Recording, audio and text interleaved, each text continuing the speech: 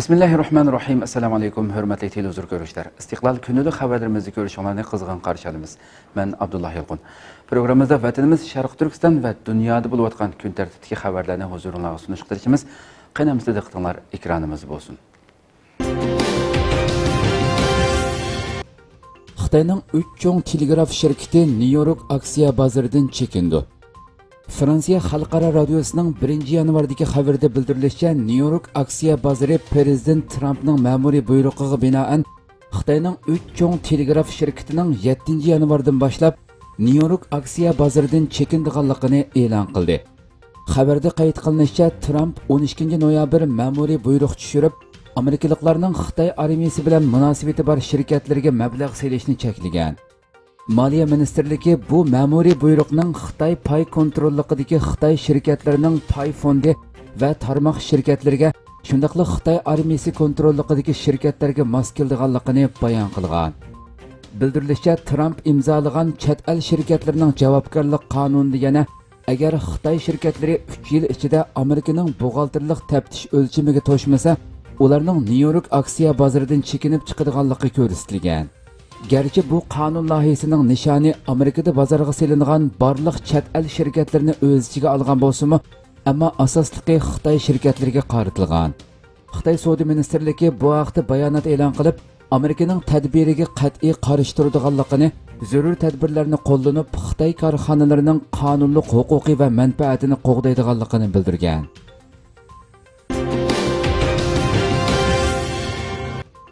Yevropa ittifoqining Xitoy bilan imzolagan savdo kelishimi tanqidga uchradi.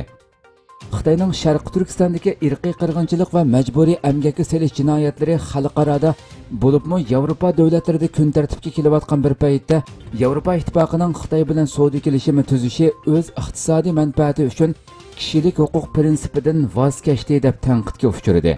Amerika ovozining 1 yanvardagi xabarda bildirilishicha, Yevropa Xitoy ikki taraflik mablag' selish kelishimi Oqsaroydagi mushim davlat bexatarlik amaldori muavin davlat bexatarlik maslahatchisi Matt Pottingerning qattiq tanqidiga uchragan. U Yevropa ittifoqining iqtisodiy manfaati uchun prinsipal maydonida murassa qilganligini ayblagan. Yevropa ittifoqining Amerikaning yangi hukumat almashish harfisida oldirab mablag' selish kelishimi imzolashi Amerikaning ikki partiya rahbarlari va hukumat amaldorlarini hayron qoldirgan. Bildirilishicha yevropa ittifoqi bilan xitoy o'ttirisida hosil qilingan ikki taraflik mablag' silish kelishimi yevropa ittifoqi mablag'ining xitoy pul muomili mulozimati yangi tok avtomobili bulut hisoblash mulozimati va davolash kasbiga kirishidagi to'salg'ularni tozalab yevropa shirkatlarining xitoy shirkatlari bilan texmi odil raqobatlashishiga sharoit hozirlashgan. Kelishimda yana xitoy yevropa ittifoqi shirkatlarini texnika o'tinib berishga majburlamaslik haqida va'da berishga majburlangan. Kishilik huquq masalasida xitoy xalqaro emgakchilar tashkilotining majburiy emgakni cheklash to'g'risidagi asosiy ahdinomasini tasdiqlash uchun davomliq tirishadiganligini bildirishga majbur bo'lgan bo'lsimi biroq sharqi turkiston va tibatda keng ko'lamda ijro qilayotgan majburiy emgak qilmishini e'tirof qilishni rad qilgan. Buningga asoslanganda xitoyning majburiy emgakni cheklash va'dasi quruq gapdan boshqa narsa emas ekan. Ma'lum bo'lishicha, Yevropa parlamentining Xitoy vakillar o'miki boshlig'i Reinhard Butikofer seshanba kechdagi bayonotida bu savdo kelishimi Yevropa ittifoqi sodir qilgan strategiyalik xatolik degan.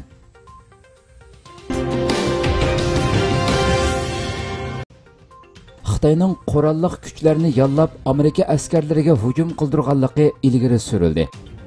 Anadolu xabar agentligining 31 dekabrdagi xabarida bildirilishicha, Amerika prezidenti Tramp bir necha kun burun yangi ma'lumot topshirib olgan bo'lib, ma'lumotda Xitoyning davlatsiz qurolliq kuchlarga pul berib, Afg'onistondagi Amerika askarlariga hujum qilishga buyurganligi qayd qilingan.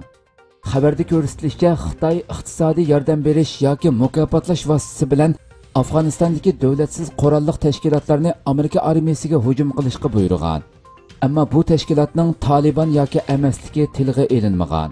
Bu ma'lumotni oqsaroy davlat bexatarlik maslahatchisi robert O'Brien prezident trampga yetkazgan bo'lib navbatda bu haqda tekshirish boshlangan. Xabarda yana bundan burun rossiyaning amerika askarlarini o'ldirish uchun talibanlarni pul bilan ta'minlaganligi bildirilgan.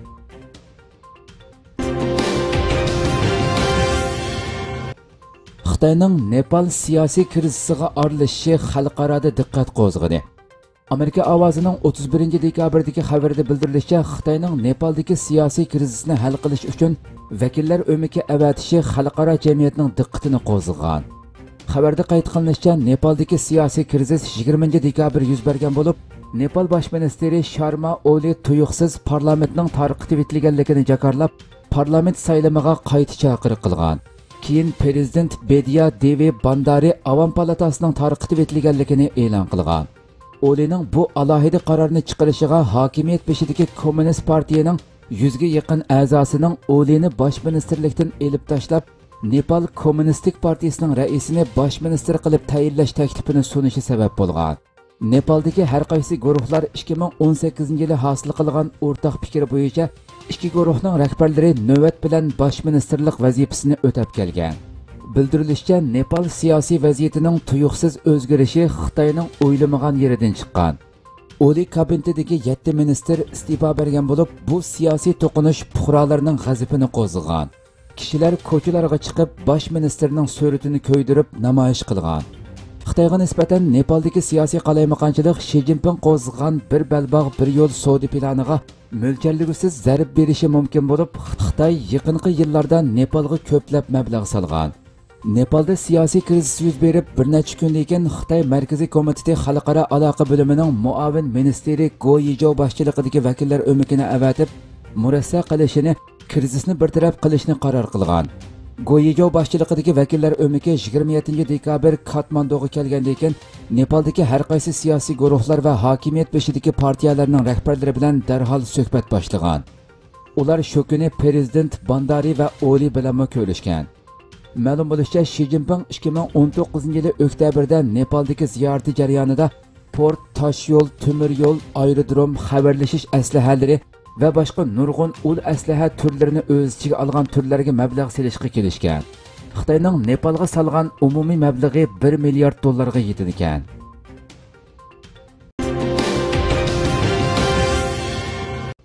Xitoy majburiy amgak zavodlarini ishsizlikni hal qilish nomida tashviq qilmoqda.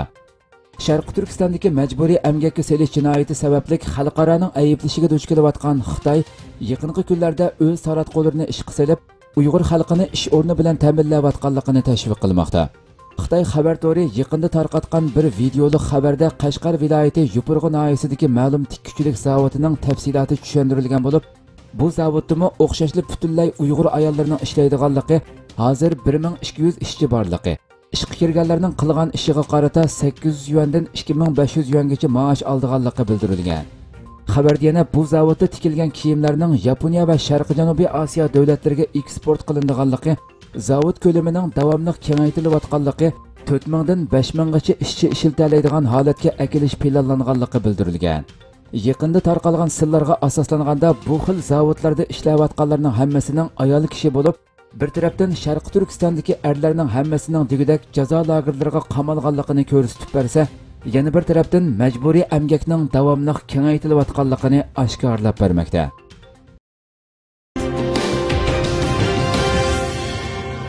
Aljeriyadagi amerika elchixonasimi uyg'ur masalasini ta'kidladi. Yaqindan buyon jiddiylashayotgan amerika xitoy munosabatidagi bir muhim tema amerikaning bejondagi bosh elchixonasini cho'rdigan holda davom qilayotgan bo'lib 30 dekabr kuni bu hol aljeriyadagi amerika elchixonasidami o'z aksini topdi.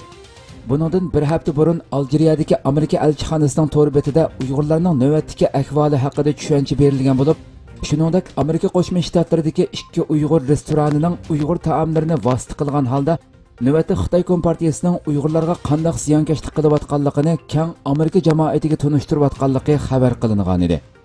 28 dekabr kuni xitoyning aljeriyadagi bosh elchixonasi buningga norozilik bildirib bu qo'pollik bilan bizning ichki ishlarimizga aralashganlik degan. Shuningdek amerika tuprog'idagi musulmonlarning hozir kang ko'lamli kamsitishga uchrayotganligini xitoydagi uyg'urlarning bo'lsa diniy e'tiqod erkinligidan to'liq bahramand bo'lgan holda baxtiyor turmush kechirayotganligini ta'kidlagan. Xitoy rejimining islom dunyosini uyg'urlar masalasida sukut qilishga qistayotganligini alohida eskartgan bir qism uyg'ur analizchilar bu vaqtda to'xtalib ro'shanki xitoy rejimi davomli islom dunyosini aldashning ko'ydi bo'lmoqda. O'z farzandlariga islomiy ism qo'ygan uyg'urlarni lagerlarga qamayotgan xitoy rejimining diniy erkinlik haqida bildirilishi uchchig'i chiqqan saxtipazlik deyishmoqda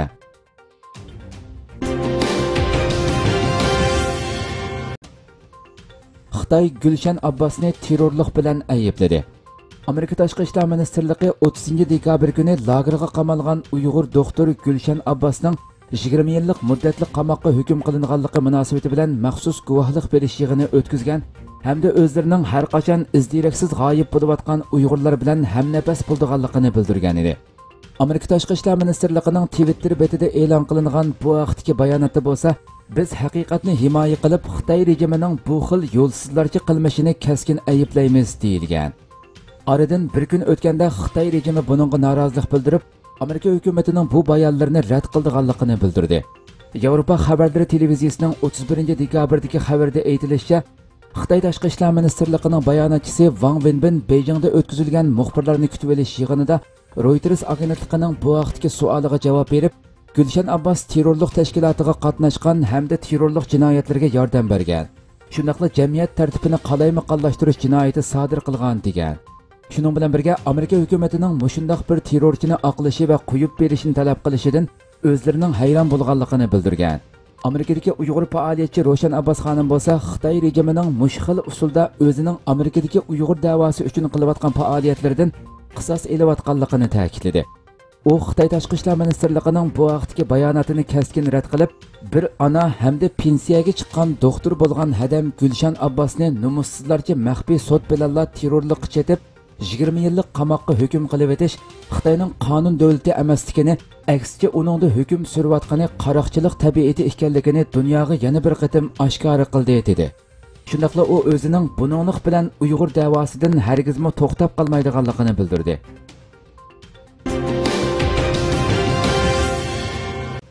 Uyg'urlarni xitoylashtirish kommunistlashtirish siyosati davomlashmoqda yaqinda ijtimoiy uchur vositida tarqalgan sillar xitoyning sharqi turkiston xalqiga kommunizm ideyasini tengish uchun qandoq vositalarni qo'llanayotganligini ko'rsatib berdi. Buning ichidagi bir sinda o'ttir yosh va yashanganlardan tarkib topgan o'xshash forma va atlas ko'ylak kiygan bir turkum er ayollarning mas'ul xitoyning boshchiligida xitoy kompartiyasini mavzudoni madhiyalab naqsha aytayotganligi yana bir sinda yashinib qolgan mo'may bilan қолыда Қытай байрағын көтеріп, оқшашлы Қытай компартиясыны мәдхилейдіған қызыл нақша етіп атқанлығы көрсетілген. Яны бірсінде болса, мәлім заводтіке ұйғыр аялларының оқшаш киім киіп, Қытайны мәдхилейдіған нақша етіп атқанлығы көрсетілген. Қызыл нақша етқызуш Қытай компартиясының мәдениет инқилабыда қолданған асаслық міңіюш васытлардан бірі болып, барлық инсани хукуклардан мәхрум қалдырылған Шарқы Түркістан халқы bu inson qilibidan chiqqan siyosatlarning nishoniga aylanmoqda.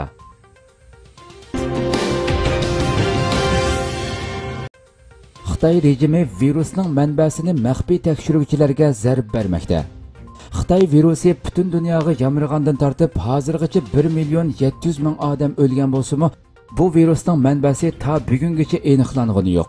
Tadqiqotchi olimlar va muxbirlarga ko'ra bu nihoyatda sezgur ham maxfiy masala bo'lib kelmoqda. Amerika birlashma agentligining 30 dekabrdagi xabarda bildirilishicha xitoyning janubidagi mujang degan qorong'u tog' jilg'isining ichkarisida bir kon eg'izi bo'lib bu yerda xitoy virusi bilan yaqindan munosabati bo'lgan shaparanglar yashaydi ekan bu yer xitoy virusining manbasini tekshirish uchun biror yip uchi berilishi mumkin deb qaralg'achqa tadqiqotchilarning qiziqishini qo'zg'agan akvaldan xabardor ikki kishining bildirishicha bir shaparang tadqiqot guruhi shu yerga berib avilishga to'plagan bo'lsimi xitoy doirlari tarafidan tortib ilingan xitoydagi virus tadqiqotchilari taratquga chiqib oshkori so'zlayolmaydi 11 ayning oxirida puhrochi kiyingan soqchilar bir amerika muxbirining iziga tushgan va yo'llarni qamal qilib olgan. Xitoy rejimi tunji virus payqalgan kundan boshlab bir yildan ortiq vaqt ichida virusning manbasi haqidagi tadqiqotni qattiq kontrol qilib kelmoqda. Hamda bu virusning manbasini xitoydan boshqa yerdan kelgan degan safsatlarni bozorga solmoqda.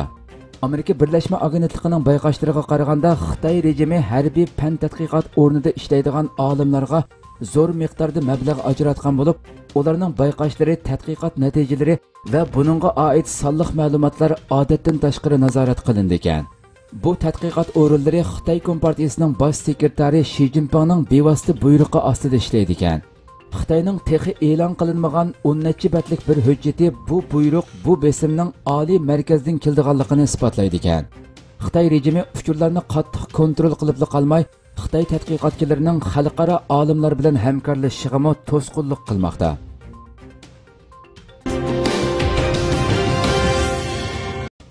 Turkiyada bir kun ichida xitoy virusi bilan yuqumlanuvchilar 14380 ga yetdi.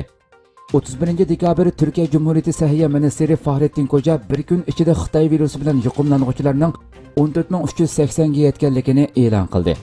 Sahiya ministrining ma'lumotiga asoslanganda turkiyada xitoy virusi bilan yuqumlandi deb gumon qilingan 178217 kishi tekshirilish orqali yangidan 14380 kishining yuqumlanganligi aniqlangan. Navbatda 2219 kishi doktorxonada davolanayotgan bo'lib bir kun ichida yana 239 kishi qazo qilib 22021 kishining salomatligi asliga kelgan. Turkiyada xitoy virusi tarqalishga boshlagandan beri salomatligi asliga kelganlar jami 2 million 100 ming 650 ga qazo qilganlar 20 ming 881 ga kesili ig'ir bemorlar 3918 ga yetgan. Turkiyada zarur tadbir qo'llanayotgan bir mezgilda yangi yil yetib kelganligi uchun yangidan qaror qilingan 3 kunlik sirtqi chiqish cheklamasi 1 yanvardan boshlab ijro qilinmoqda. Hurmatli televizor ko'ruvchilar shuna qilib bugungi xabarlarimiz mushu yerda oxirlashdi. Atigi xabarimizni ko'rishgacha sizlarni janobiy alloh topshiramiz. Shuna qilib programma oxirida ekran orqasidagi barliq xizmatdoshlarimga köptün ko'p rahmat aytaman. Assalomu alaykum va rahmatulloh.